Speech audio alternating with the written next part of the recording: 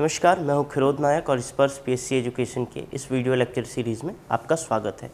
तो इस video lecture series में हम बात करते हैं राष्ट्रीय एवं अंतर्राष्ट्रीय स्तर के प्रमुख मुद्दों पे। तो इसी कड़ी में आपका जो हमारा मुद्दा है, वो है कच्छ थेवु द्वीप। हाल ही में ये काफ़ी सुर्खियों में रहा है, समाचारों में रहा है और ये किस कारण रहा है, अगर हम इस पर बात करें, ठीक है, कि ये सुर्खियों में, ये चर्चा में क्यों रहा है? तो इसके जो मेन तीन रीज़न है, वो या जो मेन तीन कारण हैं, वो निम्नलिखित है। सबसे पहले, अविश्वास प्रस्ताव पर चर्चा करेंगे। 2023 में संसद में विपक्ष द्वारा जो मोदी सरकार है, उनके खिलाफ एक अविश्वास प्रस्ताव लाया गया था। तो इस अविश्वास प्रस्ताव के दौरान जब पीएम मोदी जी ने अपना जो भाषण दिया था, उसमें ये जो कच्छ द्वीप है उसकी चर्चा की थी। इस कारण वो समाचारों में रहा था। तब इसके अलावा हम तमिलनाडु में चुनाव प्रचार के दौरान भी मोदी जी ने कच्छ थेवु द्वीप का ज़िक्र किया था। अब तमिलनाडु राज्य और इस द्वीप का भी संबंध है। अब हम आगे देखेंगे कि तमिलनाडु राज्य के साथ इस कच्छ थेवु द्वीप का क्या संबंध रहा है। इसके अलावा आरटीआई, ठीक है, right to information. Right to information के तहत इस द्वीप के संबंध में जो जानकारी मंगाई गई थी या उससे जो जानकारी निकल कर आई है, इस कारण भी ये चर्चा में रहा है। तो ये आरटीआई जो तमिलनाडु से जो बीजेपी यानी कि भारतीय जनता पार्टी से जो प्रत्याशी हैं लोकसभा प्रत्याशी के अन्ना मलाई ठीक है, के अन्ना मलाई जी ठीक है, इनके द्वारा आरटीआई दायर कर इस द्वीप के संबंध में जानकारी ली गई थी। जो के अन्ना मलाई हैं, ये पूर्व आईपीएस अधिकारी रह चुके हैं, जिन्होंने त्यागपत्र दे के भारतीय जनता पार्टी ज्वाइन कर ली है और तमिलनाडु में ये काफ़ी भारतीय जनता पार्टी में काफ़ी ऊँचे अहदे पे हैं और वर्तमान में वहाँ से लोकसभा प्रत्याशी भी हैं। ठीक है तो इस कारण ये सुर्खियों में रहा है। इसके अलावा अब हमारे यहाँ जब इस द्वीप को लेके इतनी चर्चाएँ होंगी तो ज़ाहिर सी बात है कि ये द्वीप अभी जिसका है, उसकी भी प्रतिक्रियाएँ तो आएँगे ही, है ना, इस संबंध में। तो श्रीलंका, ठीक है, श्रीलंका ने इस द्वीप पर अपनी प्रतिक्रिया दी। श्रीलंका ने क्या कहा कि अगर भारत, जो हमारी समुद्री जो सीमाएँ हैं, उनको लांगता है तो ये जो हमारी संप्रभुता है, उस पर एक हमला होगा। तो श्रीलंका की इतनी तीखी प्रतिक्रिया दी है, ठीक है। इसके अलावा हम वर्तमान स्थिति के बारे में बात करें कि ये वर्तमान में किसका है? तो ये वर्तमान में श्रीलंका का ही है। ठीक है, हमने श्रीलंका को ये द्वीप दे दिया है तो वर्तमान में ये श्रीलंका का ही है। और रही बात अगर प्रश्न ये उठता है कि क्या हम इसे वापस ले सकते हैं तो इसका अगर सीधे शब्दों में अगर आंसर कहा जाए तो नहीं। देखिए, हमारे द्वारा जो पूर्व में एग्रीमेंट किए गए हैं, जो भी है ना? अगर हम उस पर मुकर जाएँ या फिर उस पर पलट जाएँ या उस पर फिर बाद में, ठीक है, हमारे द्वारा दिए गए क्षेत्रों पे अगर फिर से हम अपना दावत, दावा, आपत्ति करते हैं तो इससे जो वैश्विक यानी कि इंटरनेशनल स्तर पर हम पर कौन ही विश्वास करना चाहेगा? इससे एक नकारात्मक छवि भी बनती है पूरे इंटरनेशनल स्तर पर। ठीक है? तो ऐसे किए हुए समझौते ऐसे वापस नहीं लिए जा सकते तो ये श्रीलंका का ही हिस्सा है ठीक है और इसे वापस नहीं लिया जा सकता। ठीक है और ये द्वीप का काफ़ी सामरिक महत्व भी है। अब हम बात करते हैं कि आ, ये द्वीप कहाँ रिलाई करता है यानी कि द्वीप कहाँ स्थित है। तो ये जो है आपके सामने ये एशिया पैसिफिक यानी कि जो एशिया महाद्वीप है उसका एक मानचित्र है। गैर राजनीतिक नॉन पॉलिटिकल मानचित्र है। तो अगर इस ये जो मानचित्र है, इसके हम इस भाग पे, ठीक है, हमको जहाँ पे वो द्वीप द्वीप का लोकेशन देखना है तो ये जो तमिलनाडु और ये जो श्रीलंका का ये जो भाग है, इसको हम यहाँ देखें। ठीक है तो ये आप देख सकते हैं, ये इंडिया इंडिया है। ठीक है, इस पर थोड़ा सा, ठीक है, ये है इंडिया, और इंडिया का ये तमिलनाडु स्टेट है, ठीक है, ये तमिलनाडु है। ये तमिलनाडु स्टेट है। अब इस तमिलनाडु और ये आ, पाक यानी कि जो पाक जल संधि ठीक है ये रॉबर्ट पाक जो सेवनटीन फिफ्टी फाइव से लेके सिक्सटी थ्री तक मद्रास के जो गवर्नर रहे उनके नाम पे ये पाक जल संधि का नाम रखा गया है ठीक है। तो पाक से यानी पाकिस्तान से कंफ्यूज नहीं होना है ये रॉबर्ट पाक के नाम पे ही इसका नाम पाक जल संधि रखा गया है। तो ये आप तमिलनाडु में जो ये पम्बन द्वीप है पम्बन द्वीप के अंदर ही ये जो रामेश्वरम, ठीक है, काफ़ी प्रसिद्ध जगह है। ये आप रामेश्वरम देख सकते हैं। रामेश्वरम यहाँ पे अवस्थित है और ये श्रीलंका श्रीलंका है और ये है श्रीलंका का तलाई मन्नार। तो ये जो रामेश्वरम है, यहाँ पे ही धनुषकोडी जो ब्रिज, है ना, आदम ब्रिज और श्री राम सेतु, है ना, जो वन, जो भगवान राम है, उनके द्वारा सेतु निर्माण करके वो श्रीलंका गए थे तो ये श्री राम सेतु ही है।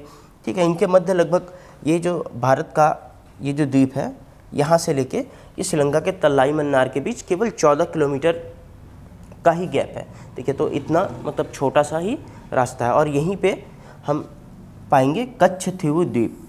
ठीक है, यह है हमारा main Katchatheevu Katchatheevu द्वीप।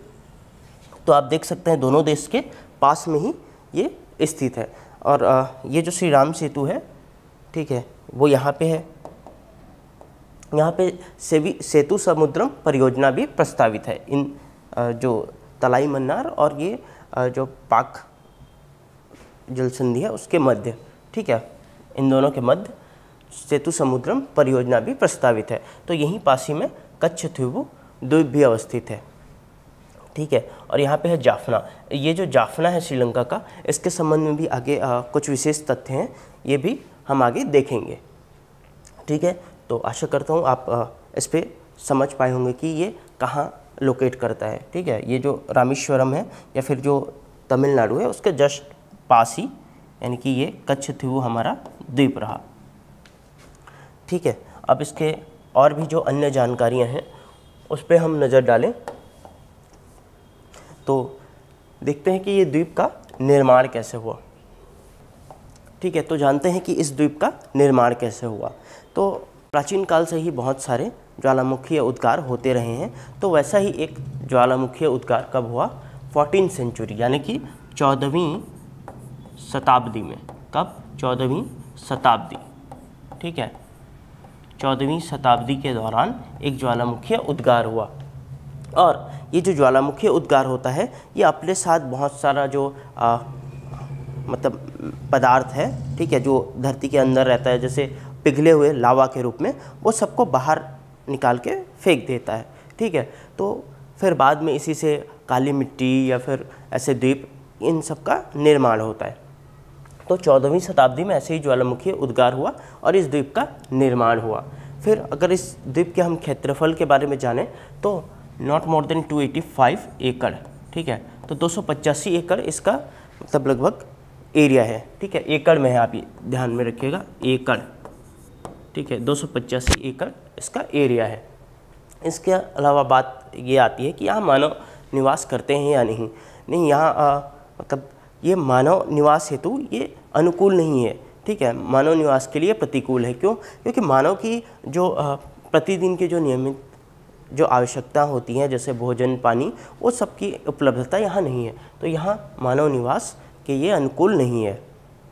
ठीक है? पानी तो है, पर वो सम मतलब समुद्र का खारा पानी है, जिसको फिर डिसलिनेशन प्रोसेस के द्वारा पीने लायक बनाया जाता है तो वो काफ़ी खर्चीला प्रोसेस भी है। तो यहाँ मानव के पीने लायक पानी और भोजन की अनुपलब्धता है, हम ये कह सकते हैं।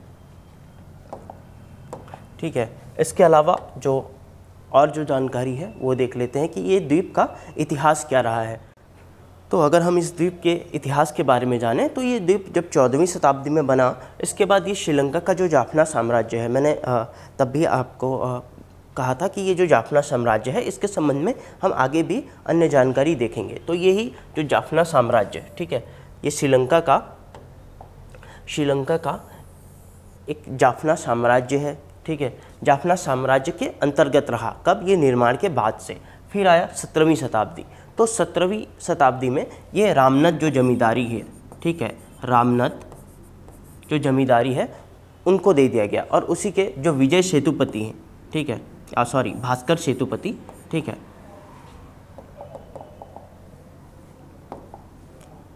ठीक है, भास्कर सेतुपति, जो रामनद जमींदारी के जो जमींदार थे कौन? भास्कर सेतुपति जी। ठीक है? ये इनके अंतर्गत रहा। फिर ब्रिटिश राज। ठीक है? ब्रिटिश राज के दौरान ये मद्रास प्रेसिडेंसी ठीक है? मद्रास प्रेसिडेंसी के अंतर्गत रहा। तो ये इस द्वीप के प्रशासन का एक ब्रीफ इतिहास रहा। कब? आज़ादी के पहले। ठीक है? पहले जाफना साम्राज्य, फिर रामनाथ जमींदारी के अंतर्गत भास्कर सेतुपति के अंतर्गत फिर इन्होंने जो है कंट्रोल इस प्रशासन को ट्रांसफ़र कर दिया किसको? ब्रिटिश राज को। ठीक है जब ब्रिटिश राज के अंतर्गत ये मद्रास प्रेसिडेंसी ठीक है जो मद्रास प्रेसिडेंसी है और ठीक है मद्रास प्रेसिडेंसी के अंतर्गत ये रहा। और आ, 1969 में ही ठीक है 1969 में ये जो मद्रास है, इसका नाम परिवर्तित करके तमिलनाडु कर दिया गया। ठीक है तो तमिलनाडु से ये मद्रास सॉरी मद्रास से ये तमिलनाडु हो गया। कब? 1969 में। ये बात आप ध्यान में रखिएगा। इसीलिए तमिलनाडु राज्य से भी रिलेटेड है। और आपने देखा कि पास में अवस्थित भी था, हमने मैप पे भी ये जाना। ठीक है तो ये रही इसके संबंध में ये जानकारियाँ। अगर हम आगे देखें ठीक है कि आज़ादी के पश्चात क्या स्थिति रही। अभी जो हमने जिस पर बात की वो तो आज़ादी के पहले की स्थिति है। तो अभी अगर हम आज़ादी के बाद की स्थिति देखें तो सबसे पहले 1955 जब भारत आज़ाद हुआ ठीक है भारत जब आज़ाद हुआ तो आ, इसके बाद वो कुछ एक्सरसाइज करना चाहता यानी युद्ध अभ्यास करना चाहता था। लेकिन श्रीलंका के द्वारा मना किया गया कि नहीं, आप यहाँ पे एक्सरसाइज या जो युद्ध अभ्यास है, वो नहीं कर सकते। और फिर 1955 में हमको तो मना कर दिया गया इंडिया को, लेकिन स्वयं श्रीलंका ने ही यहाँ पे अपना एयरफोर्स का एयरफोर्स एक्सरसाइज कर दिया 1955 में ही।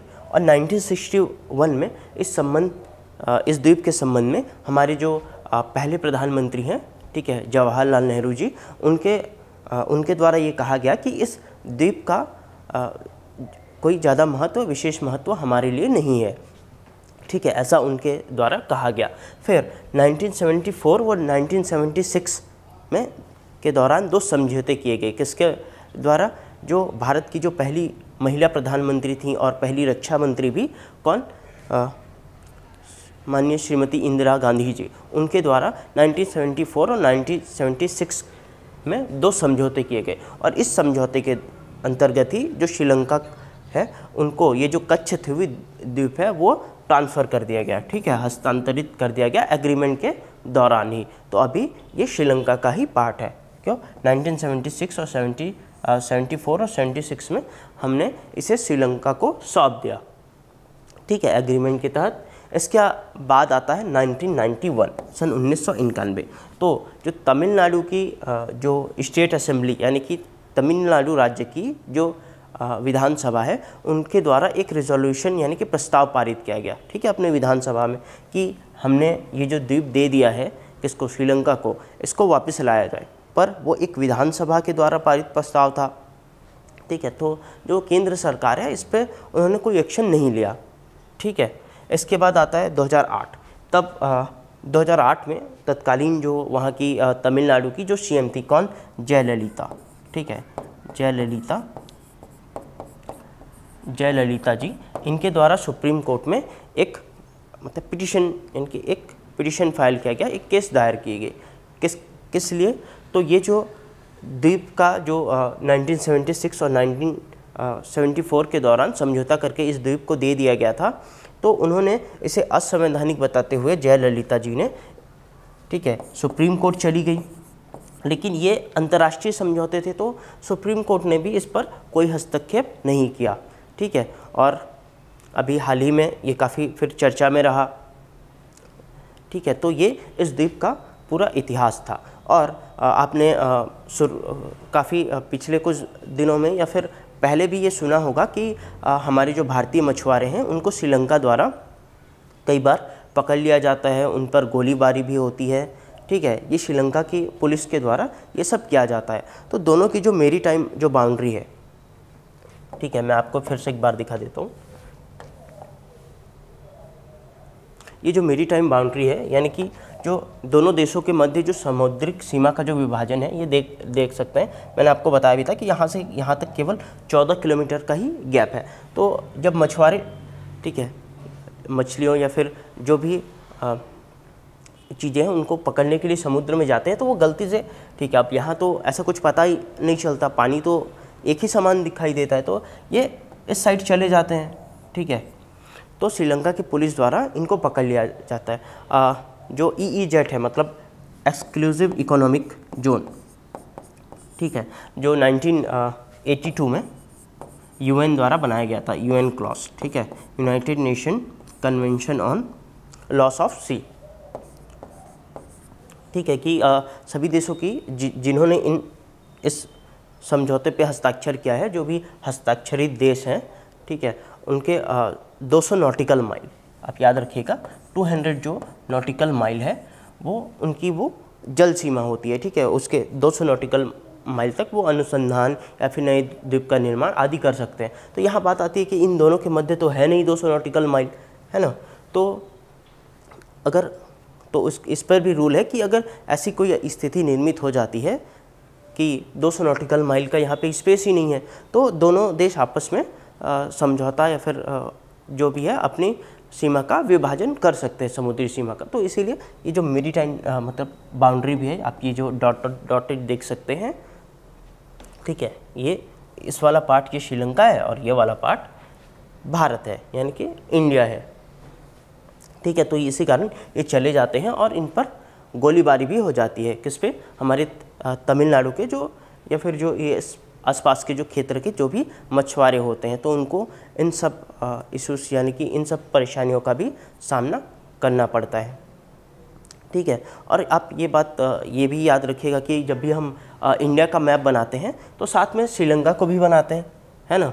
इंडिया का मैप बनाने के बाद श्रीलंका को भी हम दर्शाते हैं तो वो जो ई ई जेट है, उसी का संकुचन दिखाने के लिए कि यहाँ पे जो है ई ई जेट का संकुचन हो जा रहा है। तो इसको दर्शाने के लिए हम भारत के साथ श्रीलंका का मैप बनाते हैं। तो आशा करता हूँ आज का जो हमारा टॉपिक था, उसको आप ठीक बेहतर ढंग से समझ पाए होंगे। आपको ये जानकारी तथ्यात्मक व रोचक लगी होगी। ठीक है, धन्यवाद।